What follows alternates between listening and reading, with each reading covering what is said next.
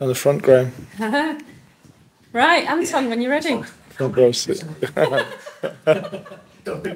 yeah.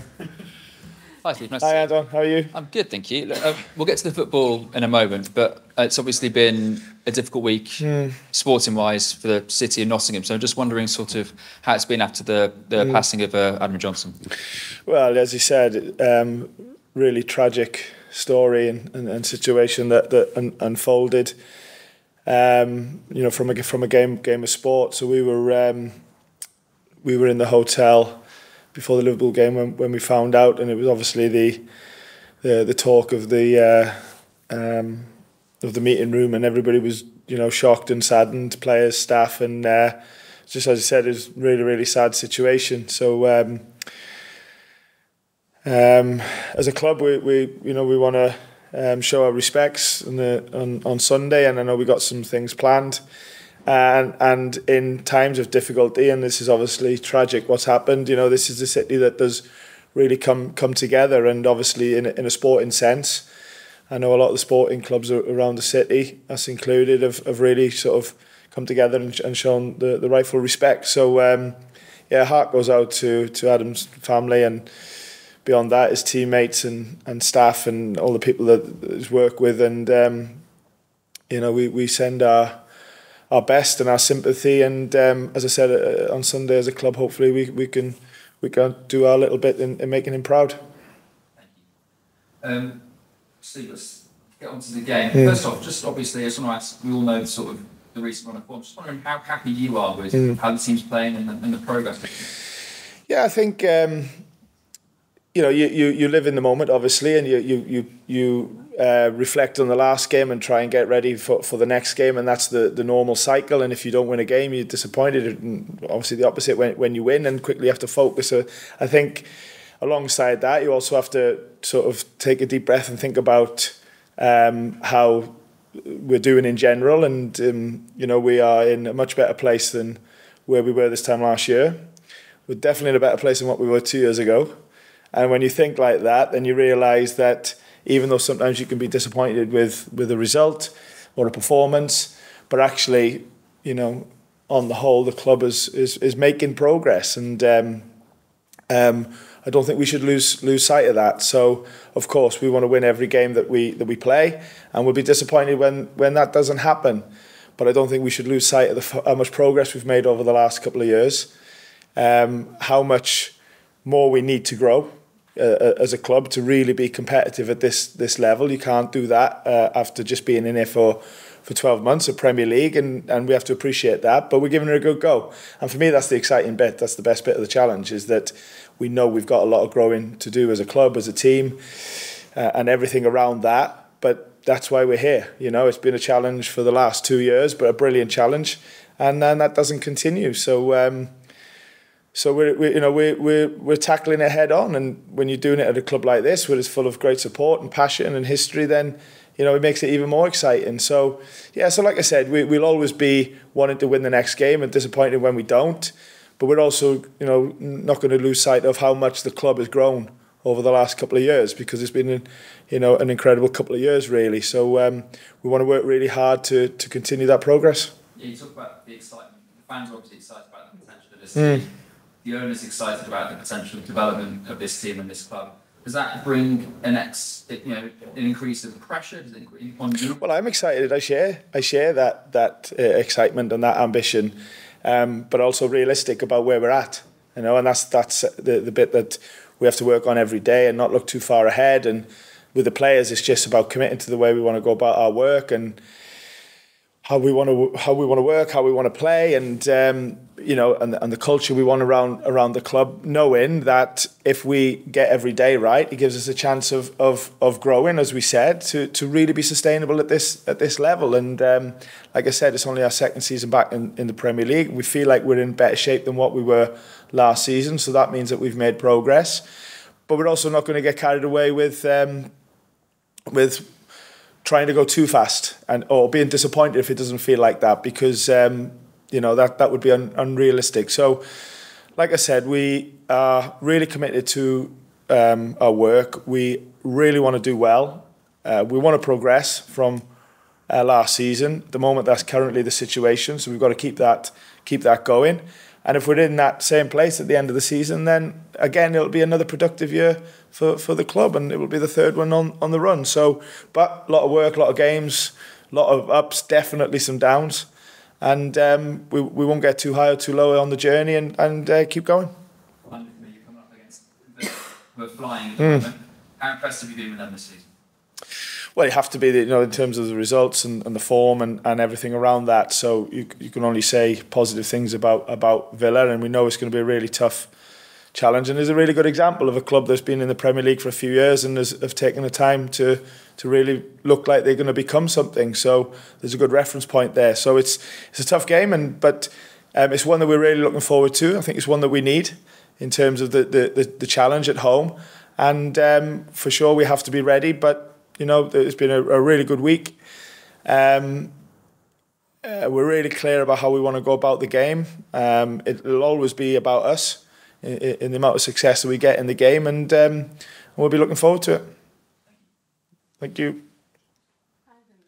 Hi, Ivan. How are you? Yeah, good, thank you. Um, just on Villa, what, what is their greatest threat at the moment, you think?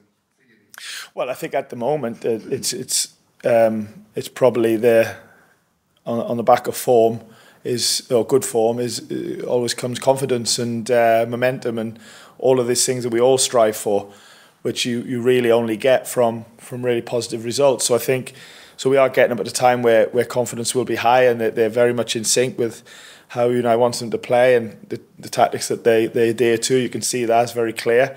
So we get that, but you know this is the Premier League. These are the type of challenges that you you get. We've got to we've got to be our own um, version of ourselves and hopefully a, a good one, and um, and take the game to, to, to Villa. Recent history, by comparison, it's not dissimilar to, to Forest. Villa Forest have both had domestic success in the recent past and European success around about the same sort of time mm. in, in moderate history going back. Are they an inspiration to you, a, a model to follow, if you like? I just said in, in the previous question that um, they, they, are a good example of a team that has slowly um, improved over the, the course of time. Um, I'm sure, uh, without studying it too much, there's been some ups and some downs along the way, and at the moment they're, they're doing really well, playing in, in uh, in Europe as, as well. So um, you can see that the progress has, has been good. So as I said before, there's definitely a reference point there with Villa that a little bit of patience and a little bit of realism along the way that you, know you do get better over the course of time. Um, and so it's not a bad one to look at, but we, we've got to be focused on ourselves. We're, we're you know, like I said, a, few years behind them in terms of status in the Premier League and, and feeling the, the benefits of just being in the league and the, the you know the revenue that comes in and how it allows you to build. Um, but if we can sustain that for a few years, then hopefully we can continue to progress as well. And that's what I said before. You know, the last couple of years, really all we have done is is progress and improved and got better, and we're really committed to to continuing that. Obviously, you've been in the game long enough. You know, there's a million opinions out there and a million. There's more than that. that That's just today. That's just today. Uh, but what do you say to those that look in, have an opinion, uh, seem impatient for the club to go quicker, faster, to, to greater success? Well, we, I think our strength since we've, over the last couple of years, um, has always been just to really think internally. And sometimes I use the term about, you know, staying in our bubble and, and not trying to let anything come in. And that's when we've had um, good good moments as well. Because let's not forget, although we know we're disappointed, we've not won for a couple of games. We're, we're still in a much better position what we were last year, and as I said, the year before that. So, so it's actually quite a positive place to be at the moment. Definitely the training ground for sure. Um, through through the last couple of years, through all the good things that we've done, which completely outweigh um, the negative things, um, we've just, as I said, carried on with our work, not got too high, definitely not got too low, committed to what we believe in, and, and trusting that that will serve us well over the course of time, and that doesn't change. So glass half full, glass half empty approach. You're five glass half full. And well, you're actually for those that say you're five points above relegation, you're actually five points off the top eight. What yeah. differences do you need to, to in, include in, in, your approach to tip the balance towards mm. the, the top? Looking. Yeah, I think I think yeah, it's a, a you know it is a good way of looking at it because the sort of you look at maybe not the last game against Liverpool because that's Anfield and everyone knows about the the bad luck we had with, with player availability at the top end, end of the pitch, which made it even more difficult. But the games before that, you know, we, we could and should have, have taken more points, and we've talked about the reasons for for not doing that. I'm not going to go over it again. But if we had, then you know, um, you know, it would we would be you know in a much stronger position in, in the league. Although we wouldn't have got carried away with that because so the answer to your question is is just marginal gains and and sort of really trying to not let go of the small opportunities that come your way every every week. And if that's managing to get a, a good away win against Palace and not throw away a lead against Luton, then they're good examples of the difference that they can they can make. But we're also not, as I said, going to get carried away, good or bad, with either of them things if they've been positive or negative, because that's just not not the way. We've got to look at things in general. I repeat, the club has been on a massive upward stride last couple of years. Um, you know, I know um, we'll, people won't lose sight of that, um, even though like after a good result we won't get too high, after a poor result we won't get too low. We have to continue to con um, to work hard to keep that progression going. And if at the end of this season we can say there's progress again, then it'll be a brilliant three years, you know, and, and knowing that there's still a lot more to come, which is the natural process of time. But day by day, game by game, that's our work as a, as a coaching staff and as a, as a team um, hoping that you know the work's good enough to to continue that progression. You too. Thank you. No, no. Mm. Yeah, Taiwo's, you know, um, I'm not going to hide hide behind it because obviously we've seen that you know he hasn't been available. He's he's he's a player that we have to manage. He's in a bit of a complex situation with his uh, his injury, and um, um, it's an ongoing one and it will be for, for a little while. So it's, it's frustrating for him more than anybody else because, you know, he was doing so well and um, this has really held him back. And uh, it's not been as simple as he's back training and he's fully fit. It's something that's going to be a managing pro process for a, a little bit of time now. So um, we'll see if he's available for the weekend. Uh, we hope he is, but it could could go either way, and um, we'll, we'll we'll see. Um, Danilo's back in training. Um, not quite in full training yet, but not far away. Um, so so he will hopefully feature in the in the coming coming weeks. Um, and uh, everybody else is um, is the same. I think injuries. Yeah, we didn't pick up anything on the um, on the weekend. Um, a couple of illnesses in the camp. Um, yeah, but we, we were as we were really. Yeah.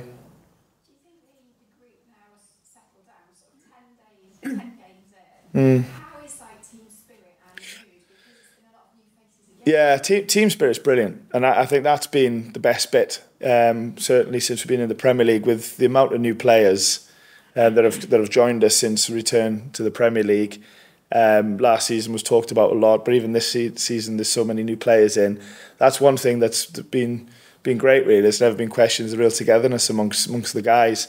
There's a bit of a common ground really. There's so many new players. They've always they've had that shared experience of of coming here as as, as a new player and probably accelerated relationships quicker than maybe you normally normally would.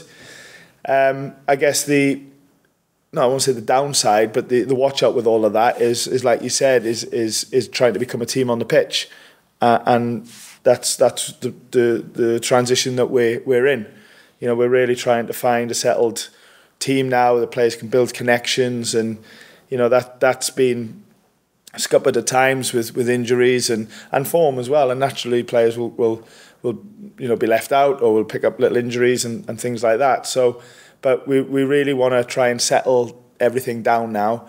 And um, and build connect, good connections and relationships on on the pitch that can really help you then, you know, going into these games that against teams that, that have that you know. So, um, so yeah, we're going we're going through that, and um, it's it's um, some of it's going as, as we'd like. Other bits are taking a bit longer, which is probably why you know that you've seen in the performances some of the some of the performances have been or parts of the performance have been excellent, and other times you, there's been a little bit of a a moment where okay, it does look like it needs a bit of building, but I think that's normal.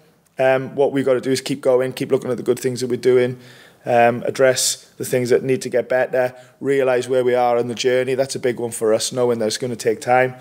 But be competitive to pick up um, uh, as many points as we can and win games because that's that's that's what we want. You know, that's certainly a home. I think somebody told me since October. I think we. I think we're unbeaten 17 out of 19 home games. I think there's only City and Liverpool have, have bettered that, and that's because you know we we've really engaged with the fans. They've really engaged with us. We've tried to do our best, and they've got behind us for sure. And, and that's been the strength of, of, of the club at home. So we've really got to we really got to hone in on them things. See that there's loads of good things that's happening at the club, and keep going.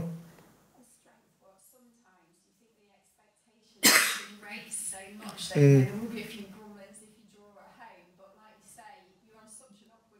Yeah.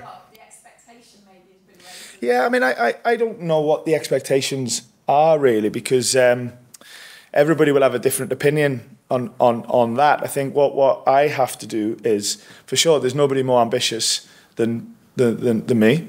Um, not saying anybody's any less, but there certainly won't be anybody more ambitious than, than me in terms of um, what we want to do as a, as a team and as a coaching staff, etc., etc. But, but I also realise that there's parts to fulfilling ambition, to fulfilling potential, and there's a journey. And and for me, that's the best bit. There's always been the best bit here. Has been is what what we can do as a as a club, and um, and like I said, you know, you, you lose a game against Liverpool or draw a game at home, and of course, no, nobody will be more disappointed than than me if things weren't as as they should be. But I've also got to be the one and go, okay, well, hang on a minute, look how far we've come, look at you know where we're at but excitingly, look at where we can go. You know, and, and that's the bit that I keep reinforcing to the players that they've got to continue to work hard, they've got to keep going. Um, you know, this could be an important era for, for the football club and the two years already. And we want to keep that going, you know. So more than anything, it's really exciting and we're really confident, really committed and can't wait for the next game. Mm.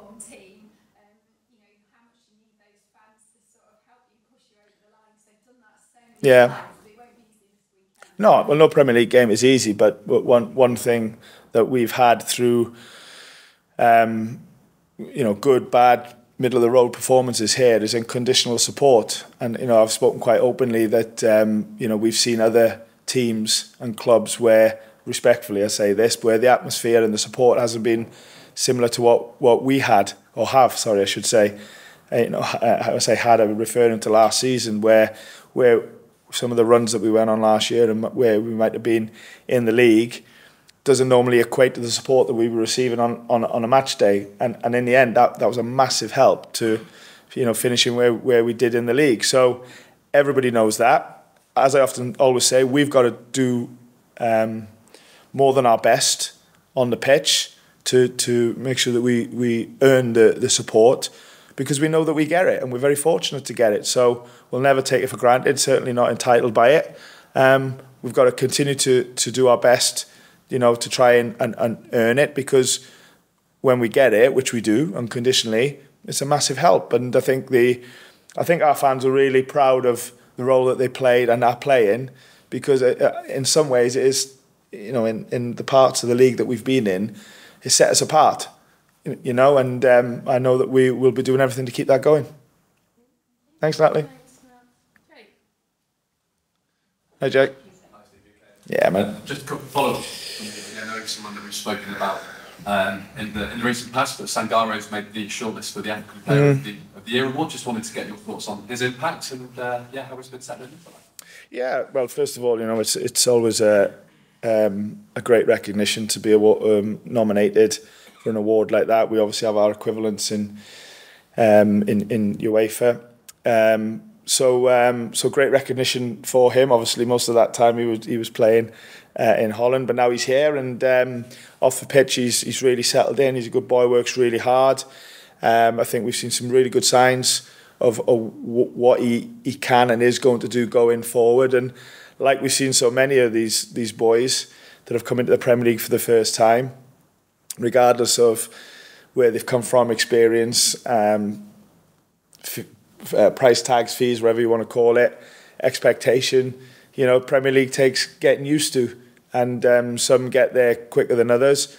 Um, and um, for sure, you know, he's um, he's on that journey. But we're really happy with him because he's a really good boy in terms of his work ethic. He's really engaged, and um, you know, you know, he's he's going to be really important for us and the club going forward.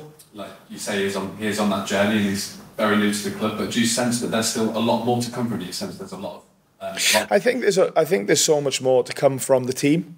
I think there's so much more to come from every player, um, because that is the makeup of the squad. That is where we're at. We're we're we're not a a team um, at a club where with loads of like games and seasons together as a group. You know, we just haven't had the opportunity to do that. So, so I think it's it's it's a question for um, or an opinion for for every player and the team in general that you know hopefully we can you know stand the test of time and really becoming a team and, and building them connections and them relationships whether it's in the back line or midfield or and and uh, and because that will help in games. So. Um, I think that's a generic question for everybody about that's where we just are our journey. We're not at the start, but we're definitely nowhere near being established with a lot of these teams that we come up against are. Um, but that's what we want to get to. And for me, as I say, that's the exciting bit the challenge. Certainly as a coaching challenge. And, um, you know, we're really committed to, to becoming that because if we do, it means we, we'll be making progress, which is, which is what we want to do. We've progressed from last season, definitely progressed from two seasons. So let's hope we can keep it going. Thanks, Jake. Come on. Jonathan. Hey, John. I think we got a decision to to make with every every position. I think you asked the question because Matt obviously made a mistake for um, the third goal uh, against Liverpool, which was a real unfortunate one and one that gets highlighted uh, even more because of the, the type of mistake and the um, uh, and the position he plays and uh, and it results in in a in a goal. Um, so I think that's your question, really, uh, and I appreciate that. Um, it was a mistake for sure, but I think if we weigh up, um, you know, all of the good things Matt's done compared to, you know, mistakes for goals, then the positives completely outweigh the negatives. And uh, Matt held his hands up um, for for the mistake because he's that type of guy. Um, it wasn't the only mistake on on the day and there was mistakes made the game before, and there'll be mistakes made in the future because that's just what um, we all do. You know, we do good things and we make mistakes as well. Um, but um, but he he and we will will grow from that and get better. Um, and also, we we want to be a, a, team and a coaching staff um, that when people have made mistakes is support each other, you know, and, and not criticize too much, not. Um, um, you know, sort of isolate people. We want to bring people closer together because in the end, everyone's going to make mistakes. So, um, but Matt's trained brilliant this week. As I said, we reviewed the game for what it was, including that that goal. Um, but you know, the, the the strength of anybody really is how they they bounce back from from uh, you know mistakes or setbacks. And um, I've no doubt that Matt and other people, you know, will do in the future as well. Uh, Woody, Woody's yeah, obviously has a hamstring injury, and um, I don't think we'll see him before the international break. That's for sure. And then obviously it's two weeks after that. So uh, I think the next time we'll see him will be will be after the international break. Jonathan, cameras off, please. Written section embargo to ten thirty.